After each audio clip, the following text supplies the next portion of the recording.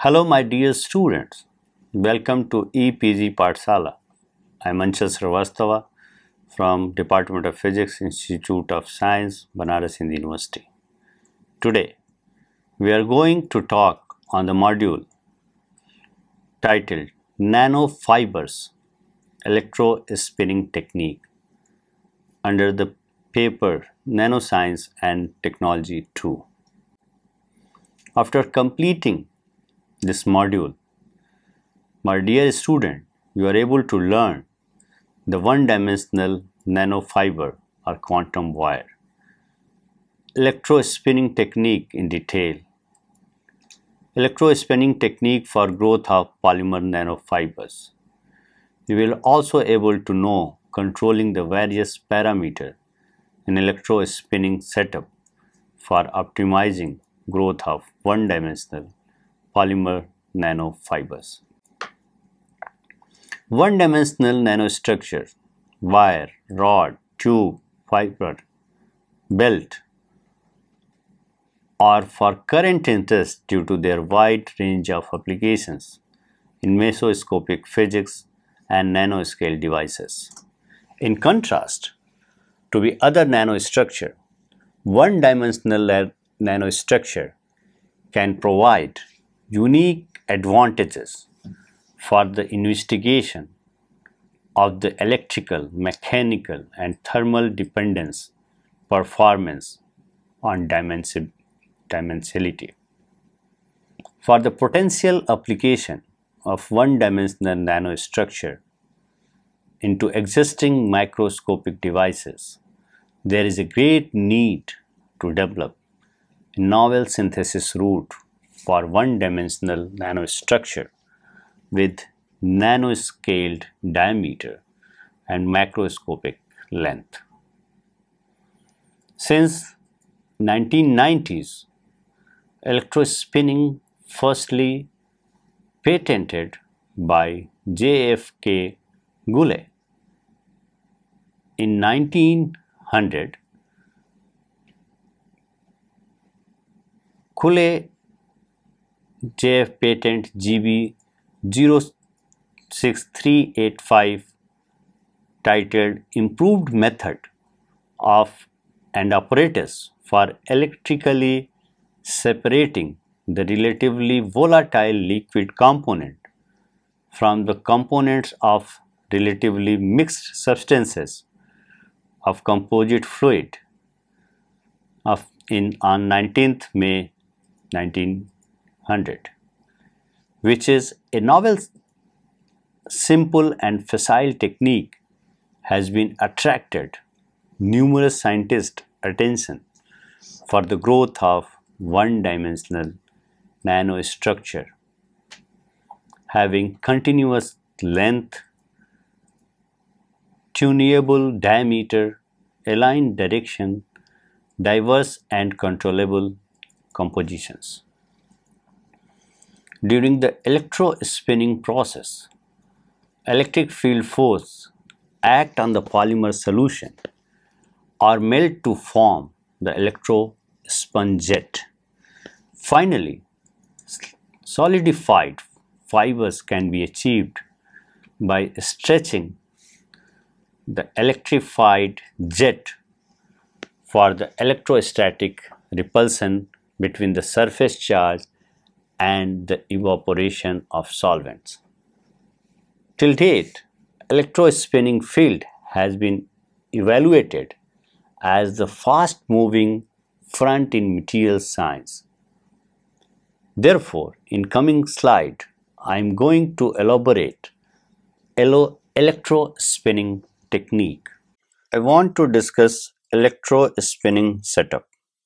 From 1990s, a number of advanced technique has been developed for the generation of one-dimensional nanostructure including electron beam or focused ion beam writing, lithography, hydrothermal chemical vapor deposition, electrospinning, solution method, etc.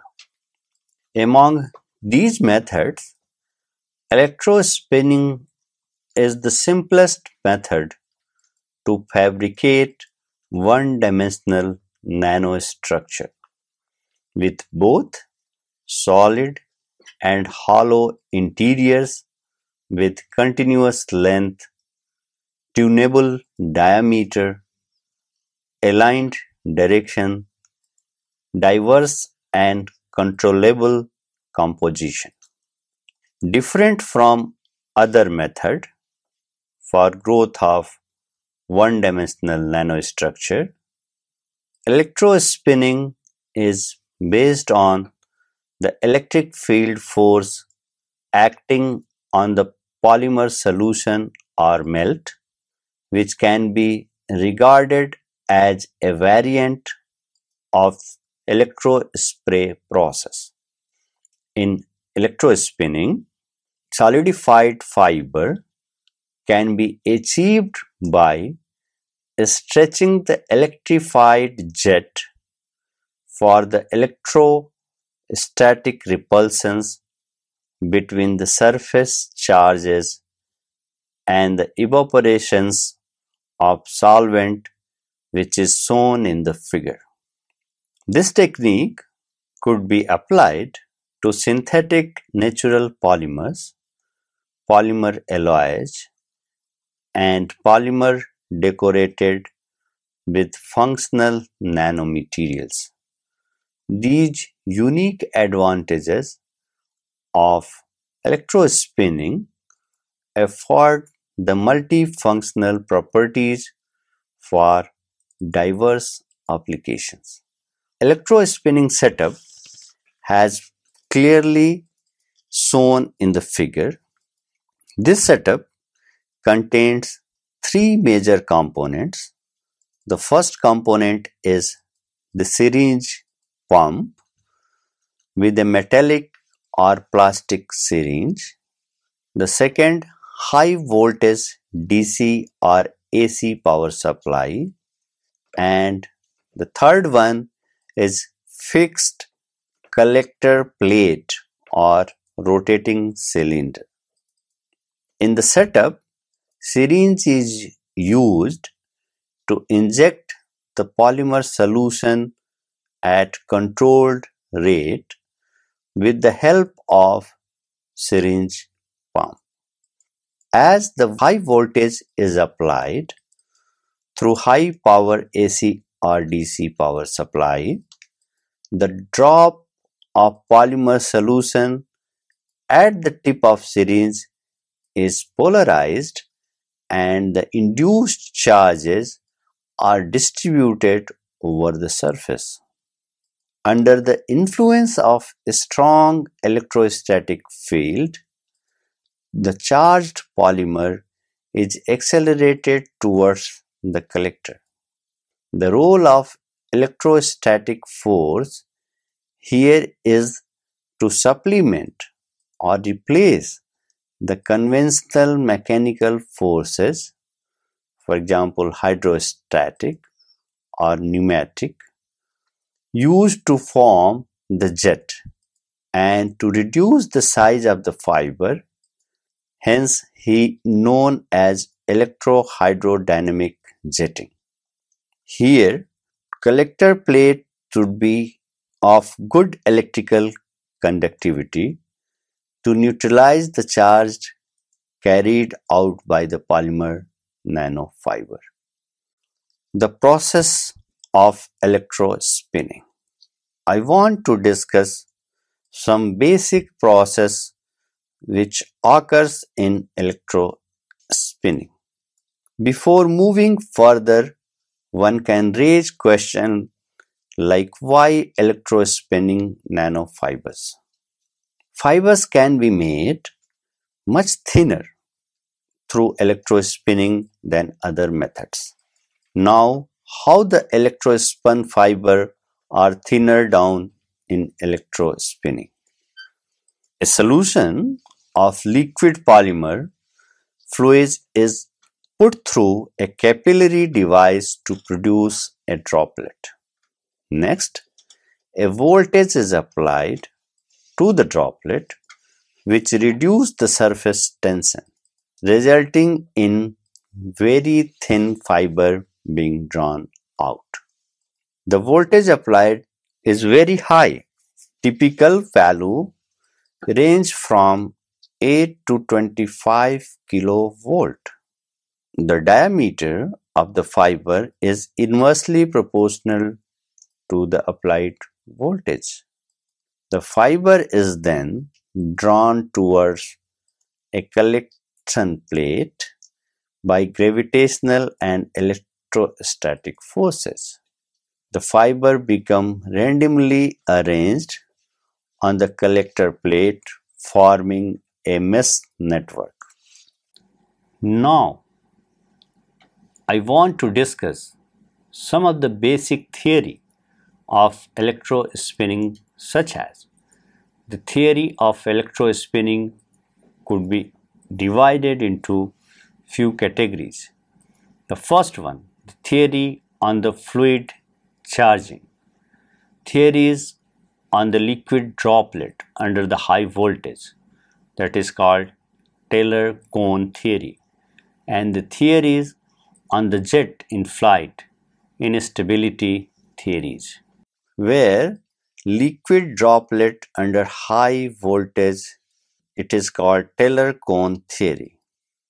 The second one is the liquid drop under high voltage which can also be called as Taylor cone theory. In 1964, Sir Geoffrey Ingram Taylor established the Taylor cone theory to describe the deformation of a small volume liquid under the high electric field. As a small volume of electrically conductive liquid is exposed to an electric field, a stable shape can be acquired owing to the equilibrium of the electric forces and the surface tension in the case of Newtonian and viscoelastic liquid.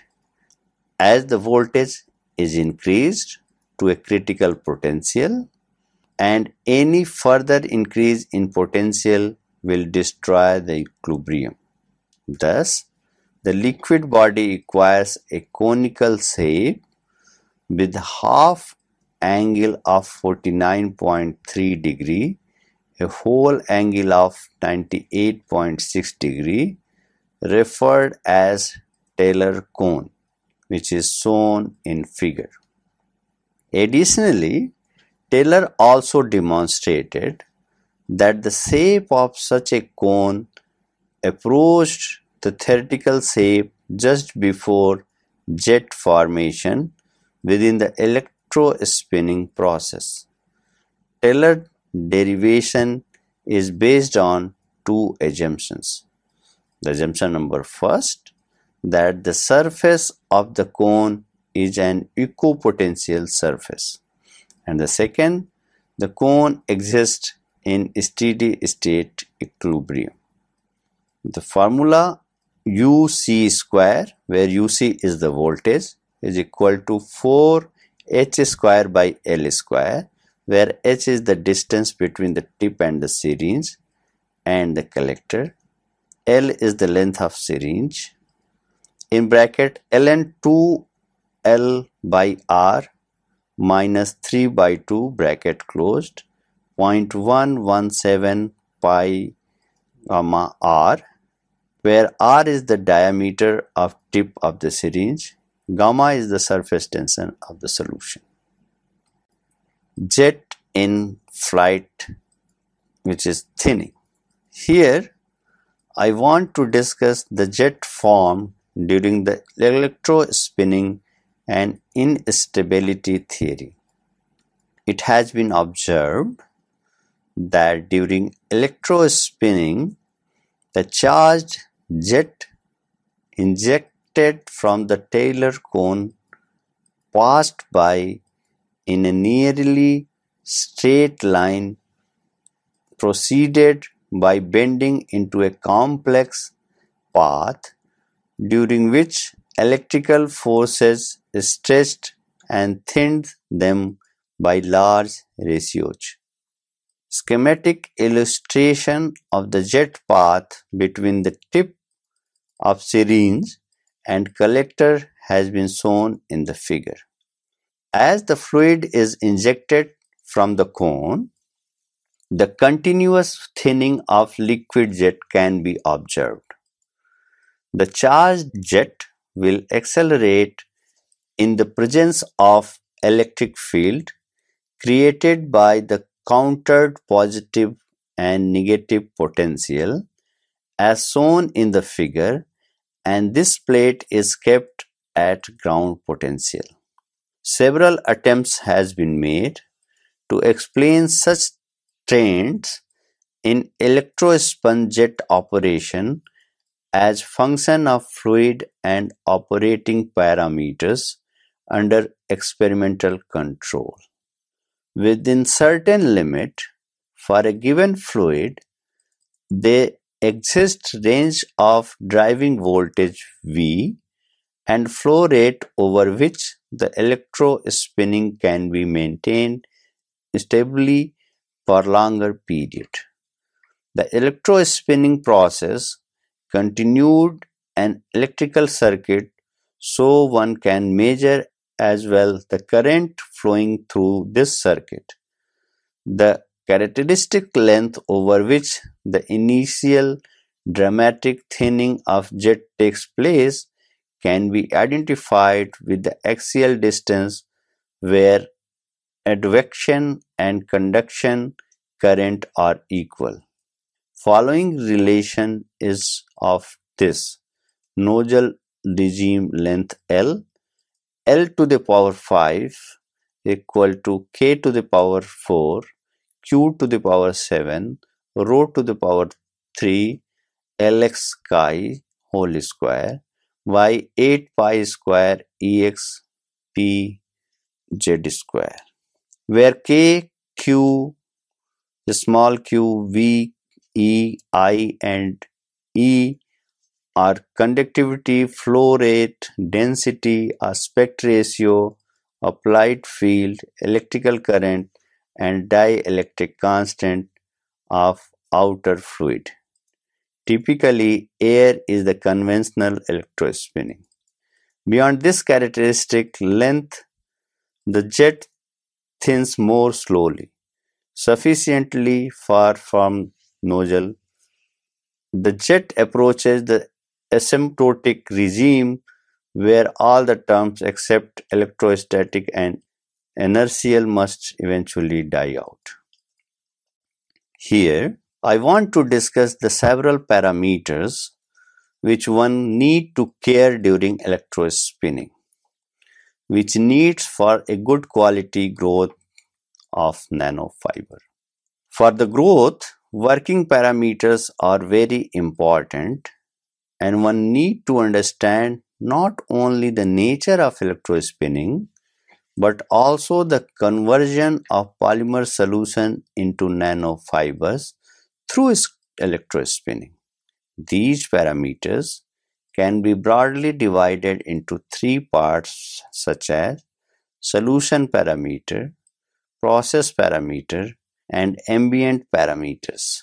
Each of these parameters can affect the fiber's morphologies and by proper control of those parameters, we can fabricate electrospun fibers with desired morphology and diameter.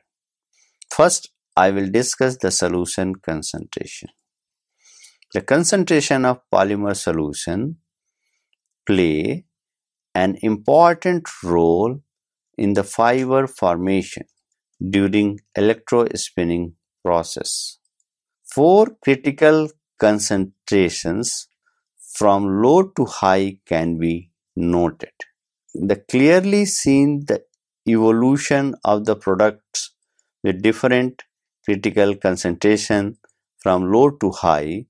Four typical SEM images shown in the figure have been used to illustrate the whole change. The first one, as the concentration is very low, the polymetric micro nanoparticles will be obtained. At this time, electrospray occur instead of electrospinning owing to the low viscosity and high surface tension of the solution. The second case, as the concentration is little higher, a mixture of beads and fiber will be obtained. The third one, when the concentration is suitable, smooth nanofiber has been obtained. And the fourth and the final, if the concentration is very high, non-nanoscale fiber, helix-shaped micro ribbons will be observed. So, the solution parameters, especially viscosity, is another solution parameter which one need to understand carefully and to be optimized depending on the solution. Solution viscosity is the critical key in determining the fiber morphology. It has been proven that continuous and smooth fibers cannot be obtained in very low viscosity, whereas very high viscosity result in the hard ejection of jet from solution. Namely, there is a requirement of suitable viscosity of electrospinning. SEM images of the electrospun PAN product with different solution viscosities by adjusting the concentration of the polymer solution. The concentration of left and right are 1.3 and 15 weight percent respectively has been shown in the figure. The molecule the molecular weight of polyethylene is around 150,000. Generally, the solution viscosity can be tuned by adjusting the polymer concentration of the solution. Thus, different product where I want to discuss the solution parameter. Here, I would like to discuss about the surface tension of the polymer solution which also plays a critical role during the growth of electrospun fibers. Surface tension which is the function of solvent composition of the solution is quite important factor in electrospinning. In 2004, Young and Wang symmetrically investigated the influence of surface tension on the morphology of electrospun products with PVP as model with ethanol, DMF and MC as solvent. TEM images of PVP nanofiber electrospun from ethanol, MC and DMF has shown respectively one can compare these points. The concentration of PVP is fixed at 4 weight percent. They found that different solvents may contribute different surface tension. With the concentration fixed, reducing the surface tension of the solution, beads fiber can be converted into smooth fibers. Let us discuss the processing parameters. Dear student, here, I will introduce you different processing parameters which is required to be adjusted during electrospinning. The first one is the voltage. Within the electrospinning process, applied voltage is the crucial factor. Only the applied voltage higher than the threshold voltage, the charged jet ejected from Taylor cone can occur. Several groups suggested that higher voltages can increase the electrostatic repulsive forces on the charged jet favoring the narrowing on fiber diameter. In addition to this phenomena, some group also demonstrated that higher voltage offers the greater probability of bead formation. Thus, we can found that voltage does influence fiber diameter, but the level of significances varies with the polymer solution concentration and on the distance between the tip and the collector. Flow rate. The flow rate of the polymer solution within the syringe is another important process parameter. Generally, lower flow rate is more recommended as the polymer solution will get enough time to polymerize. If the flow rate is very high, bead fibrils will thick diameter will form rather than the smooth fibers with thin diameter owing to the short drying time prior to reaching the collector and low stretching forces. The third is collectors. During the electrospinning process, collectors usually act as a conductive substrate to collect the charges charged fibers.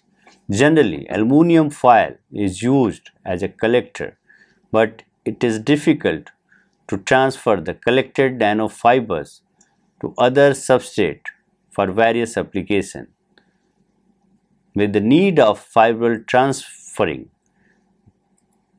diverse collectors has been developed including wire mesh, pin, grid, parallel or grid bar, rotating rod or wheel, liquid bath and so on. Distance between the collector and the tip of the syringe.